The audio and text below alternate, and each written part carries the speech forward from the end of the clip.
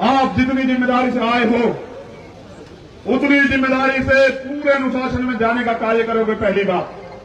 दूसरी बात, मैं यहाँ के प्रशासन से कहना चाहता हूँ, उन्होंने अच्छी व्यवस्था की उनका धन्यवाद। लेकिन आपकी ज़िम्मेदारी तब तक है जब तक हमारे कार्यकर्ता क्षेत्र से अपने घर तक नहीं पहुंचाते। अगर कोई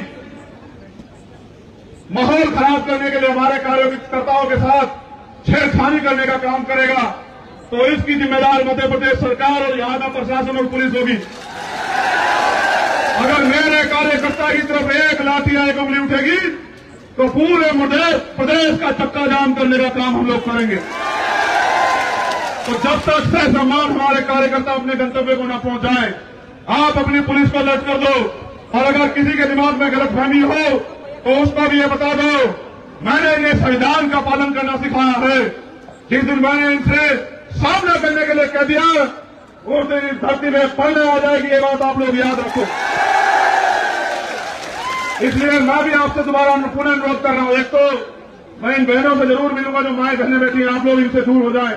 मैं मीडिया से बात करके वहाँ आऊँगा। दूसरी बात, पूरी ज़िम्मेदारी से कार्यकर्ता का ध्यान रखते हुए आप लोग घर जाएँगे और सबकी सूचना लेंगे।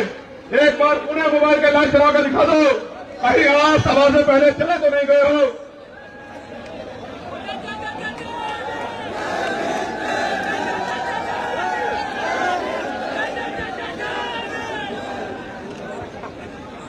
पुणे, मध्य प्रदेश, भीम आर्मी आज़ाद समाज पार्टी और तमाम बहुजन समाज के लोगों का दोनों हाथ उठाकर अभिवादन करता हूँ, धन्यवाद देता हूँ।